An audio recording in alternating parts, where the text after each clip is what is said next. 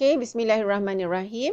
Next, I'm going to explain to you how to do this uh, preparation of the normal loss account and the preparation of the abnormal loss and abnormal gain account.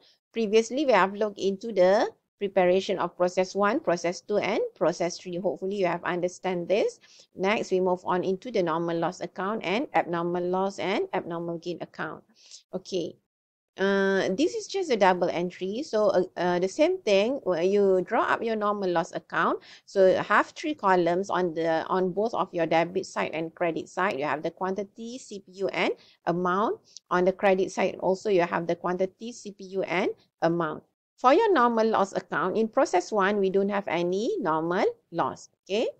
This one, you don't have any normal loss in your process one account. But in your process two, you have this one, the normal loss. Okay, you have this normal loss. So you just copy whatever that you have on the credit side here, 100, 10 cent and 10 ringgit.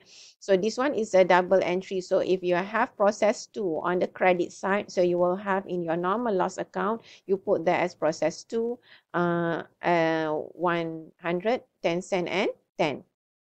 Okay, put that here from process, sorry, this one, this will be from your process to 110 and uh, 10 cent and 10 ringgit. Uh, the same goes for your process 3, 85, 20 cent and 17 ringgit. Okay, here you have the uh, normal loss in process 3, 85, 20, uh, 20 cent each at total of 17 ringgit.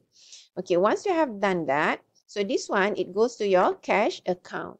So this one goes to your uh, cash in process 2 so you will have a 100 at 20, uh, at, sorry, 10 cent and the total is 10 ringgit.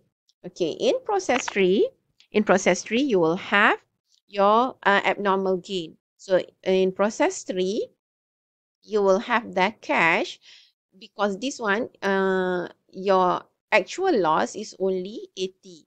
So you can sell at a scrap value of only 80 uh, not really sell, but the value of your uh, loss is actually uh, your your actual loss is only 80 so the cpu for that 80 is uh, is 0 0.2 given in the question.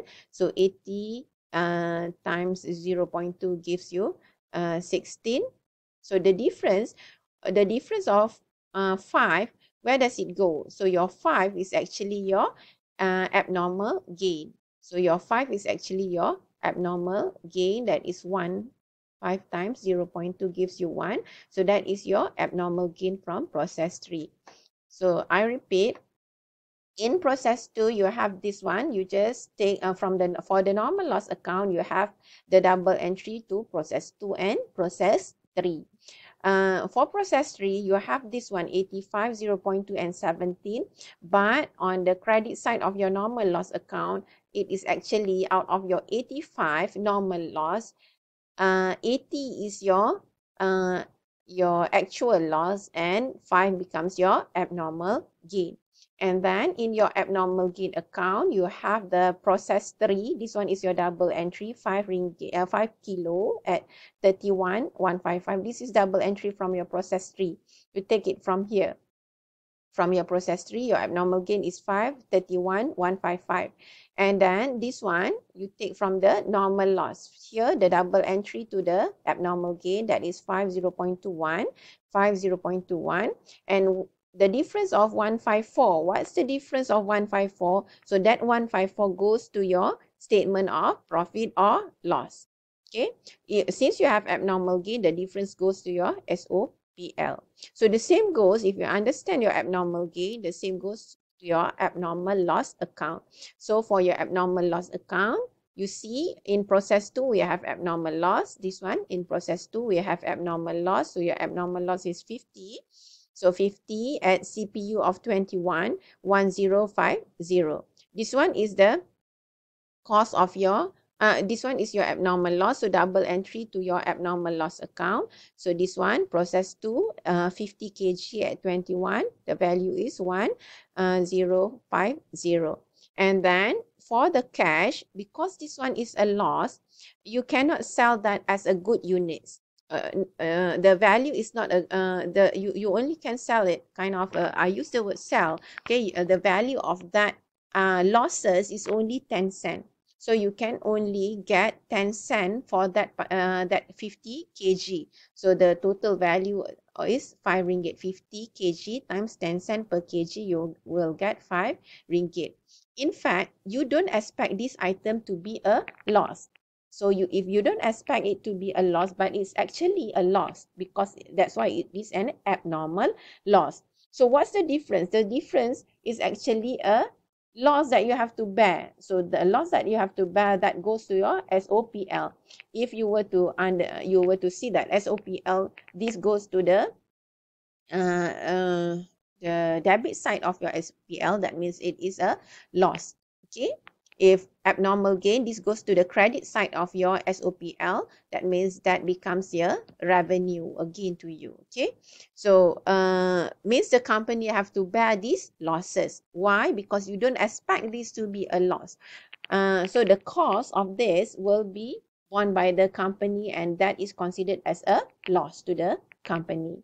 Okay. For abnormal loss if you have a normal loss, so the cost of normal loss will be borne by the good units. But the cost of uh, abnormal loss is actually, it goes to the SOPL. Okay, that's how you prepare the uh, normal loss, abnormal gain and abnormal loss account.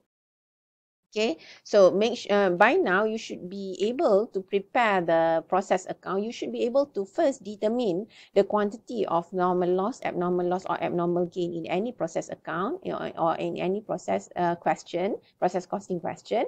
Once you have be, once you have determined that, then you should be able to prepare the process account.